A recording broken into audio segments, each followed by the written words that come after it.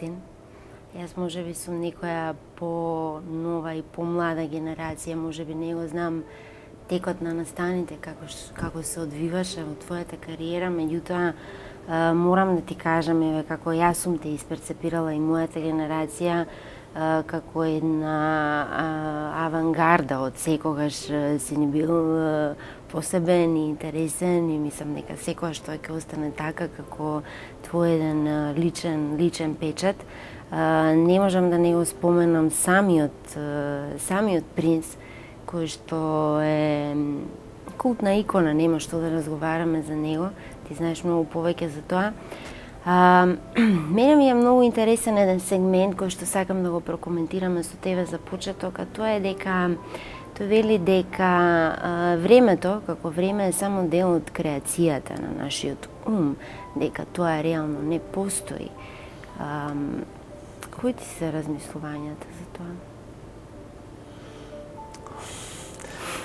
Значи сум имал периоди кога многу сум читал и за времето, и за време просторот, и за и за наномеханика и нанофизика, додека дојде време кога се разочарав у све. Mm -hmm. И веќе апсолутно не размислувам на таа тема. Mm. Значи, на тема темна материја, а, не знам, негативна енергија, бозони, неутрони, протони, Добро. време, време, простор. А, затоа што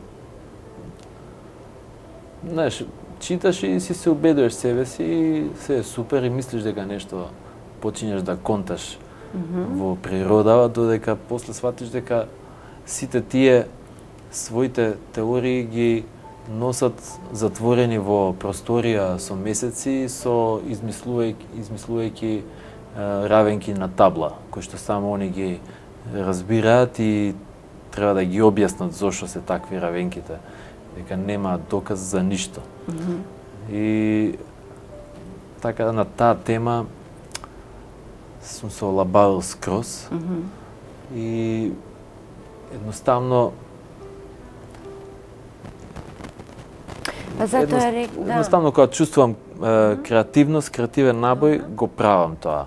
Знам дека многу од тоа е, дека многу малце од тоа е, е изворно и моја лична креација, бидејќи сето тоа си го прибирал, си го ловел околу тебе, слушаш, абсорбираш несвесно, ги канализираш, ги спојуваш работите, од ваму нешто си слушнал, акорд, од ваму некој ритам си слушнал, нешто сам сите тие коцки ги склапаш у себе и наоѓаш нека логика и искача као некоја креација твоја. Нели е тоа пак своја собствена лична креација? Знаеш, секој еден па- креативен па... човек нели гледа филмови, слуша музика, да, да, гледа да. представи, ние цело време собираме, собираме во нашиот ум различни слики, звукови и така Дали, битно, битно е да си свесен за тоа. Добро. Да, ти, јас знам многу креативци, не мора да се музичари, кои што кој ќе направат нешто мислат дека не знам малце да се смени тоа више не е тоа дека е тоа од Господ дадено и дека мора да е така и ја гледам многу релаксирано на работите. Ова е вака, може да биде скрос опачки, значи можеме да пробаме. Не гледам така на моите работи што ги правам, дали било аудио или видео. Добро, видеото не можам да кажам дека креативноста, индивидуализмот е на исто ниво као кај музиката.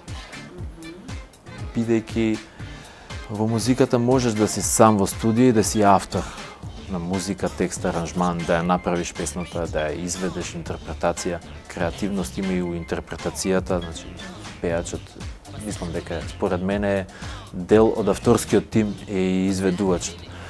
А, меѓутоа во видеото, пример, а, режисер, филмски режисер, тоа е нешто друго. Значи он ги склапа креативностите на сите, значи на сценарио, глума, костим, а, апсолутно се до реквизита, што се вика, што на некој ќе му текне и што све треба тука за да добие дух просторот. Uh, нели директор на фотографија така натам и он треба да ги координира нивните креации и да ги склопи во едно нешто. Мислам дека е, режисерот во во видеото е као има една улога на диригент mm -hmm. на креативностите на сите останати. Mm -hmm. А што мислиш за тој обратен процес, ако тој а, ако останатиот дел од екипата некојаш тие може да се прилагодат на креацијата на, на режисерот така? Се може, да. Да, да значи зависи кој процес. А, спомена некакво разочарување кога зборувавме Меѓутоа, знаеш, за... обично да? режисери имаат mm -hmm. идеја, не можеш многу е ретко кога ти доаѓа идеја онака бам и све знаеш што треба. Добро. Секогаш се консултираш, ќе викнеш костимограф, ај прочитај го сценарио, сценарио е на некој друг пример. Па како го гледаш ликов, па ќе ти даде сугестија, ќе те насочи. Мислам, има случаи кога кога све знаеш апсолутно, mm -hmm. знаеш као Матрикс, све ти станува јасно и само им даваш на сите насоки. Меѓутоа многу често и кога осеќаш дека е нешто добро, ама сепак ти треба мал пуш mm -hmm. од професионалците у таа mm -hmm тој смер, бидејќи десетобоец супер фрла копија, ама никогаш не може да фрли копија као тој што е стварно за копија фрлање. Да. И така, мислам, има и такви случаи кога стварно режисерот све точно му е во, во умот се mm -hmm. и само треба другите да ги канализираат она што mm -hmm. стварно му е идејата. Кога зборувавме за времето како категорија, малку ќе се навратам дека тоа е само можеби дел од креацијата на умот, спомена некакво разочарување. Принц, кога се случува тоа разочарување? Какви се тие разочарувања? Не, како моите разочарувања се во во науката, во научниците, Добро. во способноста на едноставно се помируваш дека не можеме да знаеме се Mm -hmm. Може би не сме тука за повисока цел. Mm -hmm. uh, и ги сведувам тогаш моите сваќања на на основите. Mm -hmm. Значи екзистенција, uh, одржување на видот, mm -hmm. на расата, мислам на човештвото. Mm -hmm. uh, не знам, као после сваќаш дека може би сме тука само као за да трансформираме енергија. Добро е. Што вика Џорџ Гарлен изгледа на планетава и треба пластика, пластика па го создал човекот за да направи пластика. Добро, сакам да се навратиме на самиот и вистинскиот принц А, што мислиш за тоа идолизирање, идолизација, а, вршење на влијание, нечие? А, тој на неколку пати има изјавено дека он е, он е фајтер, он, иде, он е фајтер, он е храбар, он го носи во себе својот надпреварувачки дух. Како размислуваш на тие прашања? Па мислам дека у било која професија не можеш да немаш некаков репер, човек кој што те инспирира највеќе, кој што е, ја, ја запалил искрата да се бавиш со тоа. Mm -hmm. Мислам дека за се мора да имаме е, репер што е добро, што не е, кој е каде. Е, јас, на пример, имам многу инструменти секој инструмент посебно го свирам и секој знам како звучи, а пак не знам во однос на оној ултимативен тон, рок тон. Mm -hmm. И затоа се јавив, ја најдов најскупата и нај пе, е, нај да кажеме синоним гитара за за тој mm -hmm. рок звук. Mm -hmm кога земав дома ке мене И кога пробав таа, па секоја гитара после, mm -hmm. и правев шутаут, веќе знаев точно која гитара каде ми е и ги позиционирав mm -hmm. а, во палетава моја, знаеш, на звуци. Mm -hmm. Оти секогаш кога работам музика, звукот ми е у глава и одма знам која гитара треба да ја земам. Меѓутоа, додека немаш нешто што знаеш дека е она голд стандард, што викаат, mm -hmm. не можеш да знаеш точно. Mm -hmm. Луташ. Ако се слушаме само себе си, македонска естрада, ако само себе сме си се слушале, никош не мога да знаеме колку сме добри, како сме, до кај сме, што сме. Сепак треба да гледаш наоколу, нели? Исто и исто тие идоли. Да. Значи, јас него сум го засакал кога сум бил трето оделение. Пример, Така. Предходно идол ми бил Девид Бови Джон, Елтон Джон, Битлси, Майкл Джексон Меѓутоа, ете, има нешто што Ма, кога кажем. сум го видел него, било крај. Майкл Джексон кога го спомена сега ми се чини некаде имам прочитано дека Принц има кажано за албумот негов Бед, зашто се вика така, вика затоа што нема простор за патетика. Натре, затоа се вика така албумот. е, на што си горд? Дали знаеме да бидеме горд? Мислам, дали знаеме. Нормално, гордоста е де- дел од е, човекот, наша особина. А, што мислиш за тој феномен кај човекот, гордоста? Стварно не ја чувствувам гордоста. Не можам да ја препознам. Да ти кажам за ова зона, не знам, не не ја препознавам како чувство у себе гордост. Гордоста е место две острици, мислам дека. Добре. Е, прво нешто што ти се повредува е гордоста. И немаш потреба да се оптоваруваш себе си. Како може да ти биде повредена гордоста во а, во твојата професија? Сега, не знам сега да не мешам сега гордост и его. Не знам. Стварно не знам, не знам а, како да ти посечам на што сум горд. Е, да кажем, се во животот што што имам сам на некој начин сум го сум дошол до тоа. Сум не сум ја изгубил амбицијата и затоа сум дошол до тоа инаку нели сам не можеш ништо. А, обичен обично интервју да правиме, па пак треба некој да ни дозволи, Да. нели, па пак треба луѓе да дојдат да снимаат, да прават. Значи, и сметам дека никогаш ниеден соработник а, не е платен колку што треба да е платен во било која професија и затоа сум секогаш многу благодарен на сите соработници што ете сме се нашли и работиме нешто заедно. Секогаш ли било така? Па секогаш, секогаш. Добро. Мислам, имало ups and downs, меѓутоа никогаш никој не бил платен колку што треба да е платен. Значи, е, на сите мои песни, на пример, и на песните кои што ги правев за други изведувачи, Ѓоко Максимовски свири бас.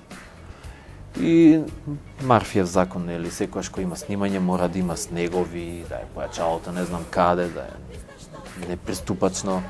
Меѓутоа тоа е дел од доживувањето изгледа.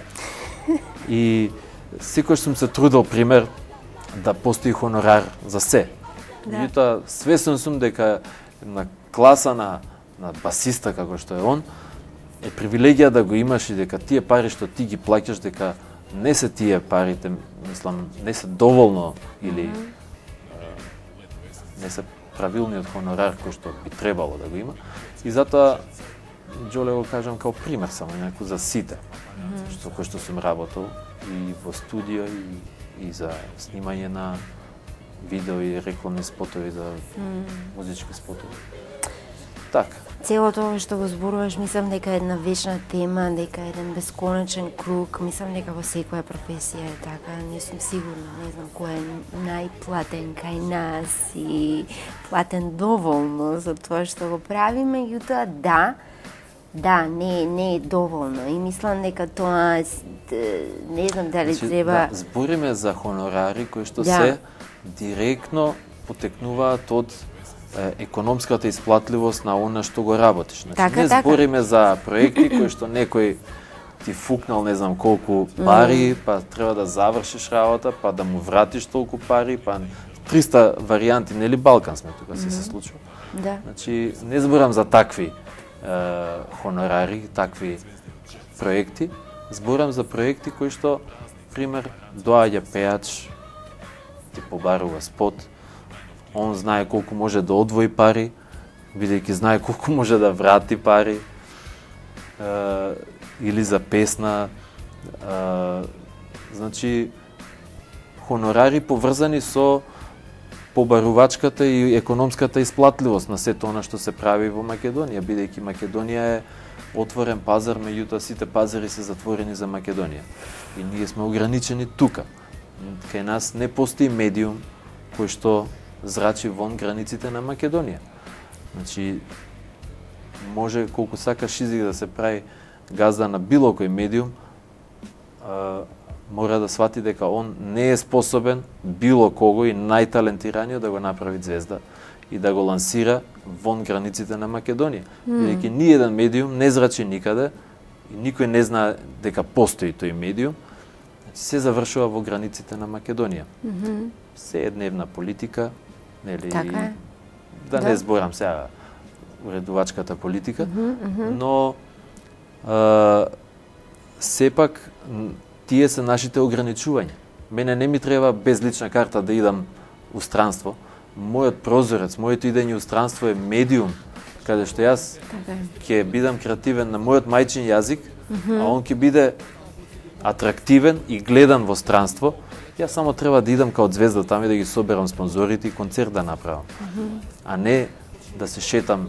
Сега сум у Земун да извадам да излечам награди, па треба у Загреб да се појавам утринска емисија, па да се вратам у Белград за не знам што. Значи, у еден таков бубањ да те стават, каде што треба да правиш албум, пример, музички на пет јазика, за да се вклопиш во нивните програмски шеми. Наспроти тоа, ние си гледаме ХРТ или Пинк или што ти ја знам, они си пеат на нивен мајчин јазик, во квотата на музика што се има заштитено за нивната музика, као што ние имаме 50% македонска музика, Така. бидејќи јас ако идам на македонски, на хрватска телевизија, они може да ми најдат место само во тие 15% и да се надпреварувам со Роби Вилиамс и Џастин Бибер, бидејќи пеам на странски јазик. А 85% е заштитена хрватската застапеност на хрватската музика. Во Грција е 93. Е, Вау. Значи, е, нас ни треба прозорец кон светот медиумски. Тоа ќе ни ги отвори. Тоа ќе ни ги отвори можностите и економските исплатливости на све што работиме, бидејќи ќе се отвори пазарот. И тогаш секој ќе биде повеќе спремен да плати за добри музичари, за добар стајлинг, за добар спот, нели? Зборам за мојава а, работа. Секако.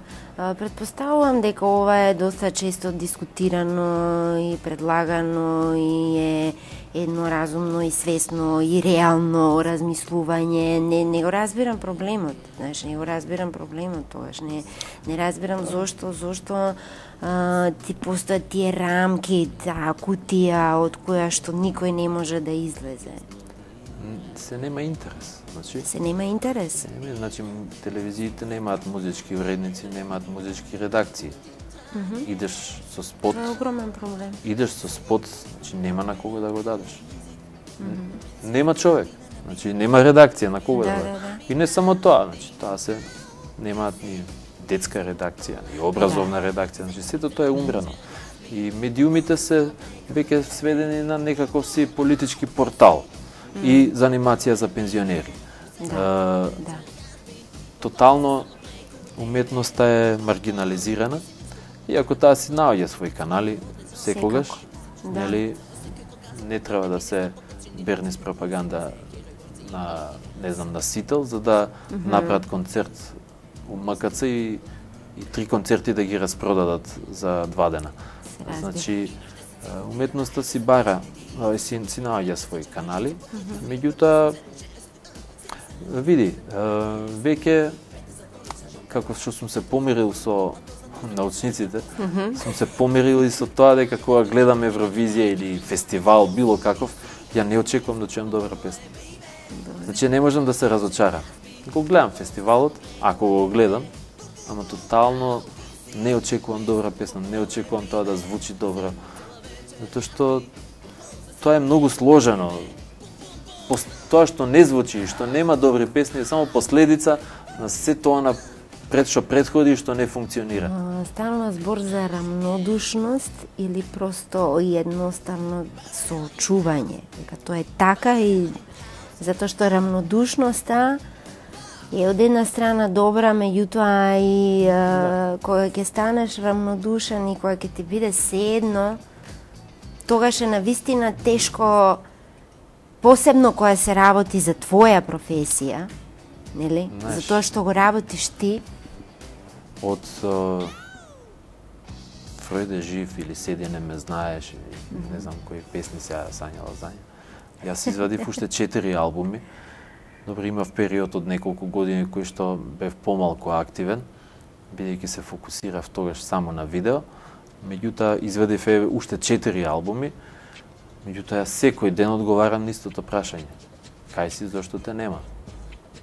Значи, минативе две години извадив два албуми со шест спота, три концерти телевизиски, ама едноставно кога нема кај да те видат луѓето.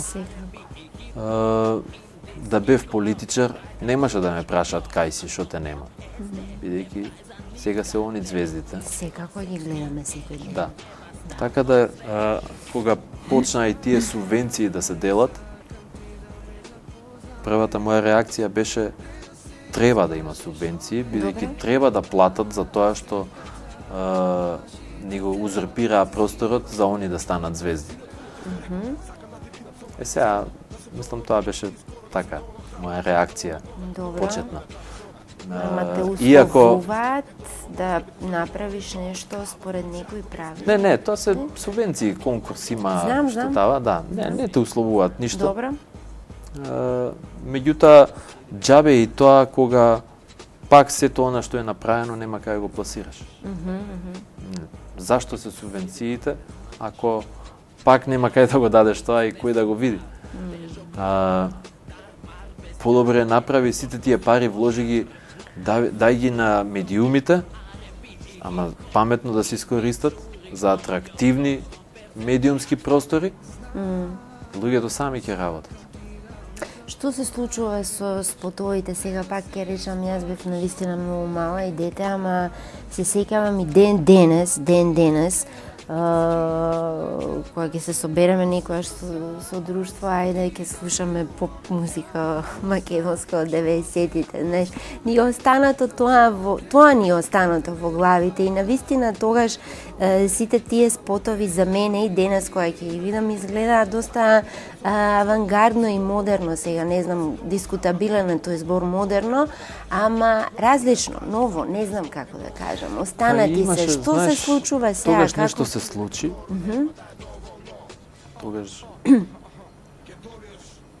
мислам си имаше хитови предходно, нели Ластовица и Ристо Бомбата и Студени нозе и така натака. Меѓутоа кога почнавме со Дарко Димитров некако заедно као тандем да работиме mm -hmm. за нокаут, Ребека, нови дечки, Ерзана, Маја Вукичевиќ, мислам многу долг список на имиња се.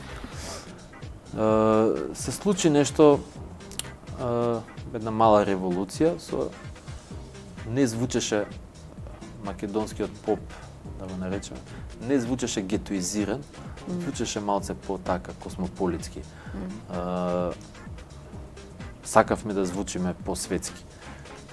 Мислам дека успеавме тоа. Меѓутоа, знаеш, не сме ние македонци ако нешто не се зезне работата. Одредени продукциски куќи подпишуваа со некои пејачи кои што и покрај тоа што тие пејачи беа многу талентирани сами по себе и успехот не им беше загрозен, сепак се однесуваа како Highlander. There can be only one. Значи само еден треба да ги совере сите спонзори, само еден треба да продава цедиња, да прави цедиња и идеја со бидејќи ги имаа спонзорите и ќе иде ќе каже еве ти го цедево, ќе го пушташ ова, не смееш да ја пушташ таа пеачка, што е пример конкуренција на ова. Каде си ти инаку? Инаку ова радио ваше ќе го изгуби Добра. тој спонзор. Јасно. И наеднаш во рок од 2-3 години исчезна целата естрада, mm -hmm. бидејќи песните престанаа да им ги пуштаат на луѓето, се изгуби медиумскиот простор и нормално престанаа луѓето да прават и да инвестираат у тоа. и се ограничи нашата естрада на неколку имиња, самото тоа колку и да се тие добри, стануваат монотони и досадни. Mm -hmm. И автоматски, лека полека, све замре, додека мислам дека најдоброто нешто во моментов е што сме го допреле дното.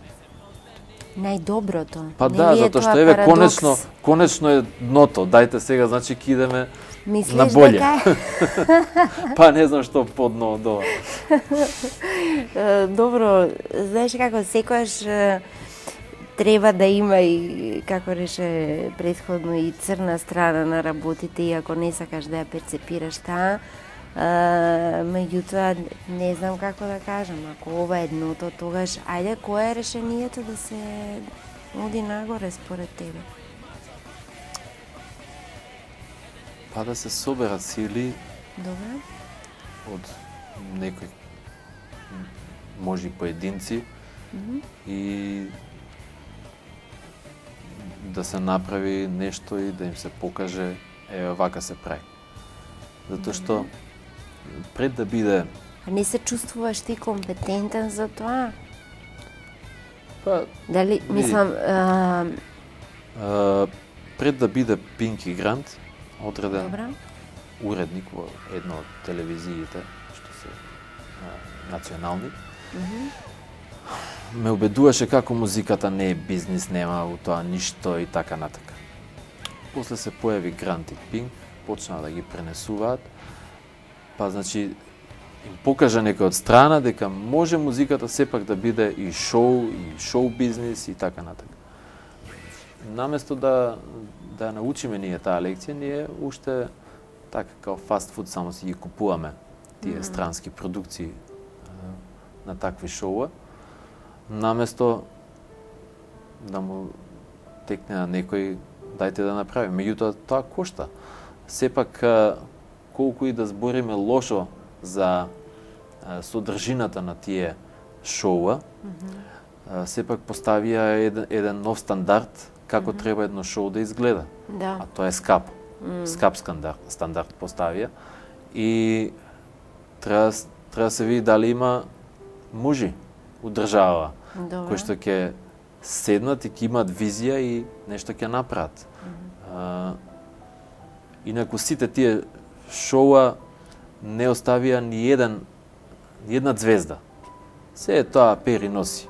Го експлоатираш човекот Се цела година. луѓето. Па цела Да. година го експлоатираш ти секој ден и кога ќе заврши нели сезоната идат нови.